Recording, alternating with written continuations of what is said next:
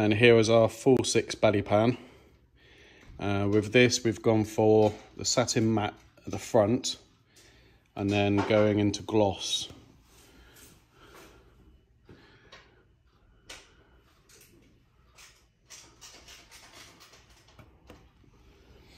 And this will be going, obviously, on the bottom of the bike.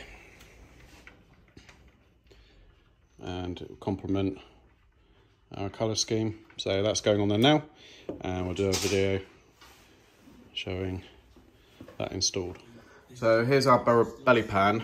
And because this is designed mainly for the original exhaust, um, they didn't counter for the design, obviously what Zard have done, which has this lower pipe coming through the bottom. So what we're gonna do is we've masked it off and drawn where we're gonna be cutting a bit of the carbon out. Um, so that gives us some clearance on the other side. So we're about 20 mil too, um, too low on the other side. So we need to bring it up a bit more. Right, so we've, we've used the Dremel. Um, as you can see, we've had to take quite a chunk out for it to clear the bottom of the exhaust pipe. Uh, but that's not going to be seen at all. That's going to be right under the bottom of the bike. Um, uh, so yeah, we're just uh, talking up all the bolts, just making sure that doing a PDI check.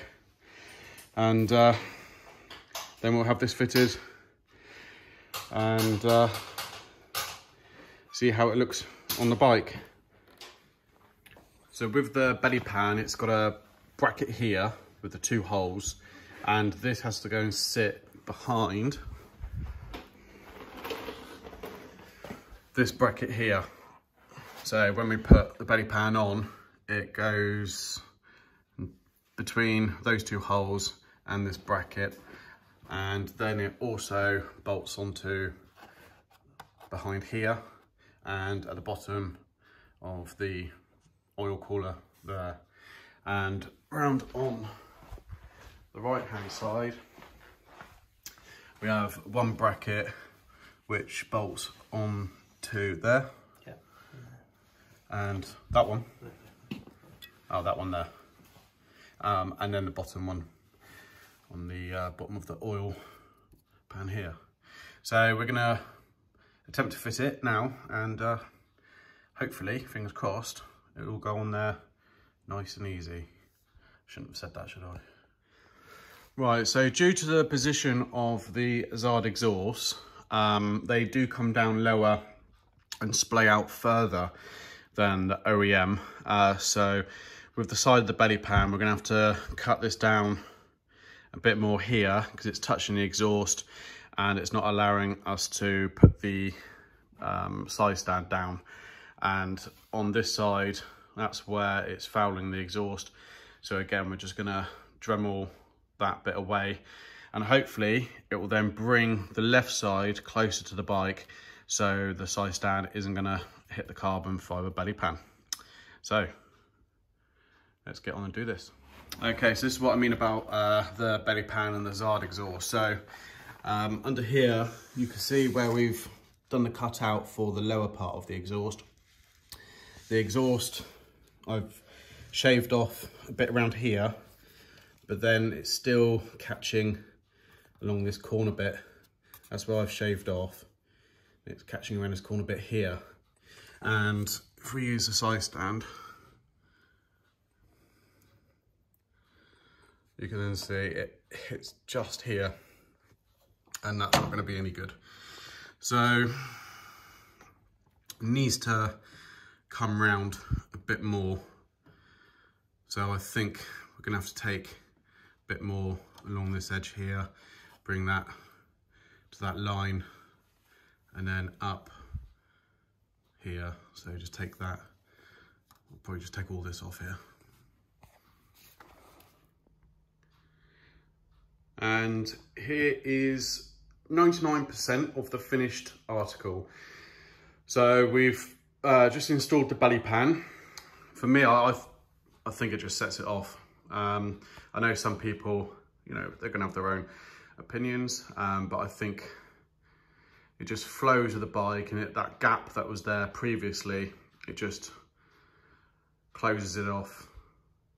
And what we did is we've got the gloss tank with the matte brushed aluminium effect paintwork. We've got the satin matte tank cover and then going down to the side panels in gloss. And then we had it masked off and made in satin, uh, satin matte, um, with this in satin matte and then a monocoque in gloss. And the wings we've got in gloss. Uh, these will be fitted better um, as soon as we've got the brackets, because you're just missing the brackets in the back there, which are on their way from Fullsix. And we've got the, which would have been silver radiator covers. We swapped those out in a satin matte carbon. The engine panels here in satin matte, going down here in satin matte, which then is masked off into gloss, going along the rest of the panel work there.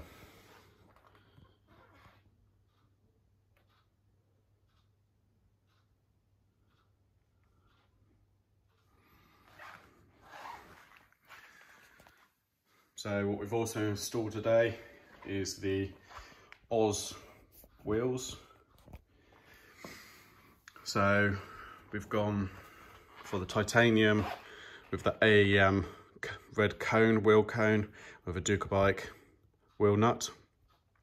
And with this, the three kind of combination, it goes perfectly with the AEM rear brake reservoir the front brake reservoir and the clutch reservoir.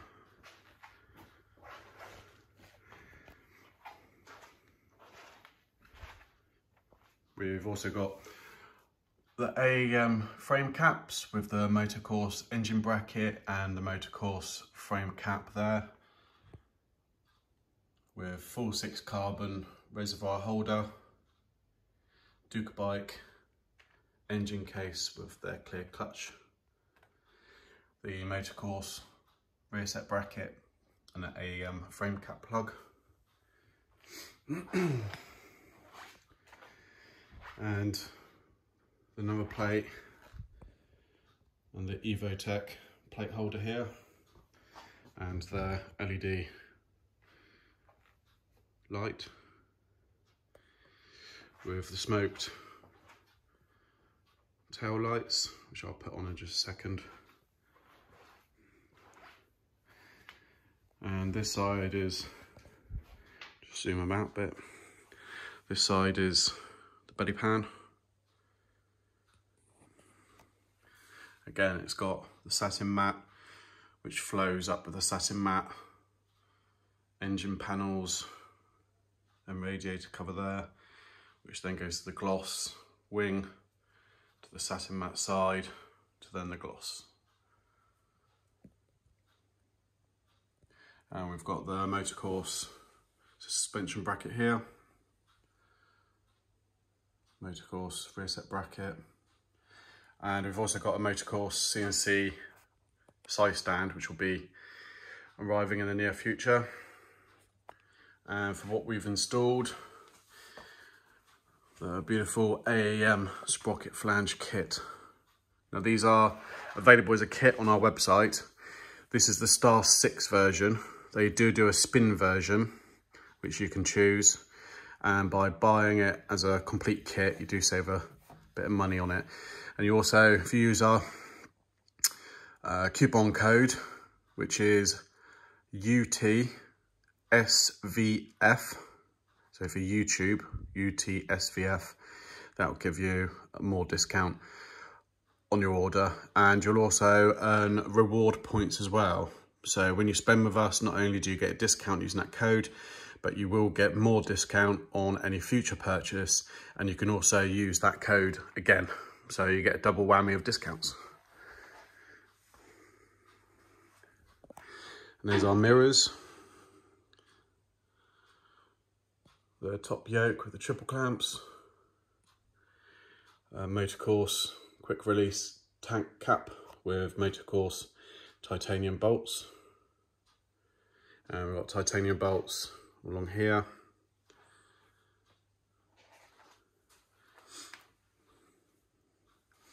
And all here are titanium bolts, including in here. Um, these will be titanium once we've got the rear sets.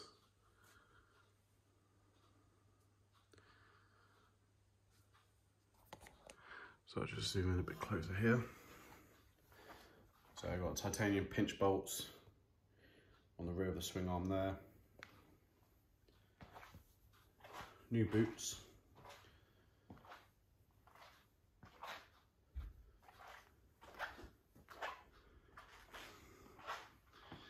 And the black, silver and red AEM carbon levers.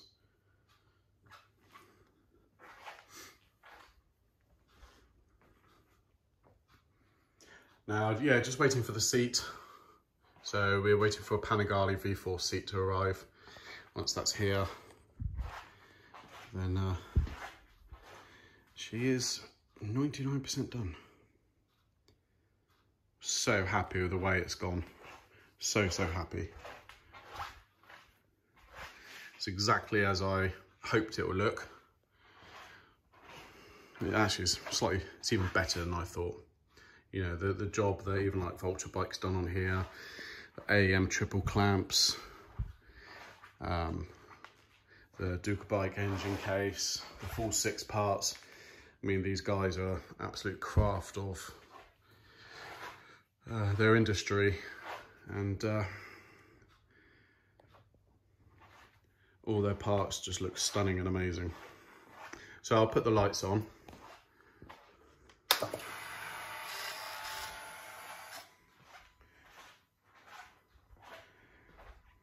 That's the front DRL.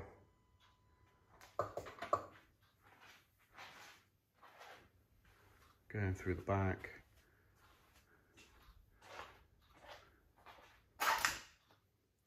And oh, there's a rear tail light there.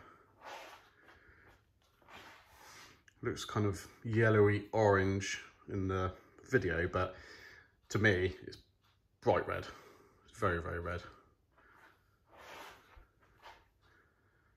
Yeah, that does, it looks awesome. And uh, thank you for Ducati for bringing out their uh, SP version, which uh, came out yesterday. Uh, yeah, so people will probably see this going down the road and think, oh, it's an SP. Until they come up close and go, oh, well, no, it's got a bit more carbon than what SP has and whatnot.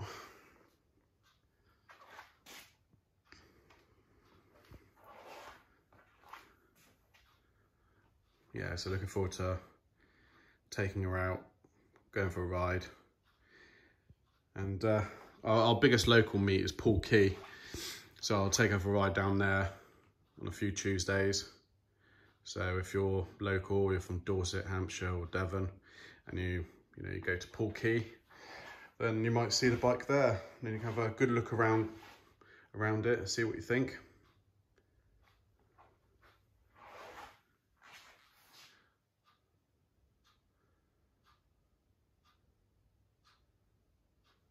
And any questions, guys, please uh, leave them in the comments and uh, I'll be able to get back to you and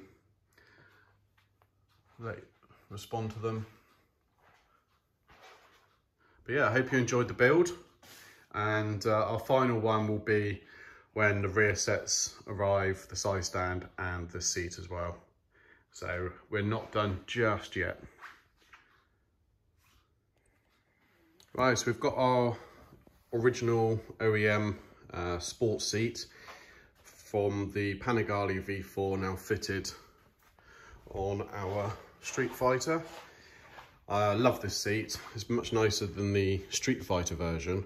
It's just got a lovely suede, well, Alcantara feel to it on the top. And uh, goes really well with, with the bike, I think. And we had to use the Panigale V4 version because the monocoque and the tank is for the Panigale V4. So the Streetfighter, um, even though it does fit on the Streetfighter, the seat from the Streetfighter is different, it's wider. Um, and uh, so we've got that seat and I'm really happy with that. Really happy the way it looks.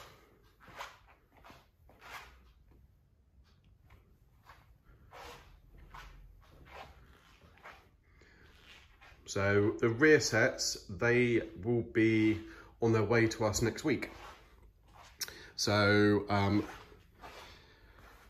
we'll be done and the bike will be complete. I'm so happy with the way this looks. It just looks phenomenal. We'll be putting Venture Shield on it. Um, I've We've got it here.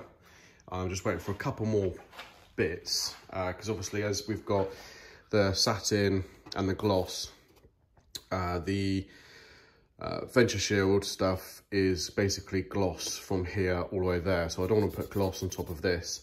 Otherwise it's going to look, you know, it's, it's going to take away the whole point of having that in satin finish. So um, yeah, so I'll be doing that in satin, this part in gloss. Uh, I'll be doing the wings, doing the screen, be doing the headlight, uh, all around here in satin as well. Um, I believe we do have a bit on the front mudguard and down the sides. And we've got the satin in there for the tank. Uh, we've got a tank protector, which goes up here. And I'm going to be putting satin along the sides here, because this is a matte finish. And then it comes all the way along the tail here. And also along the belly pan as well. Um, I, I, will do a video of how to do that. I've done it plenty of times before. It's not too difficult. You just got to be patient with yourself um, and use the right products and it will go on there easy. Oh, we've also got the satin, which goes on here um, and down the side there. Uh, we'll be doing a full catalogue of all of the parts that we've put on the bike um, and be totaling it up. I might have a slight heart attack, uh, but it'd be interested to know, you know, the cost that has got involved. Uh, obviously, we will do the market price of the parts. Um, so if anybody was to, you know, do this and buy all these parts, then, you know, this is kind of what you'll be looking to, to spend on a build of this magnitude.